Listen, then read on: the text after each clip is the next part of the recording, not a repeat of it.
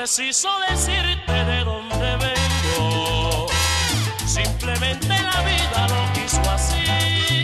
Ya mañana temprano seremos dos extraños, pues jamás me detengo ni en el camino ni en el amor. No es preciso que sepas cuál es mi rumbo.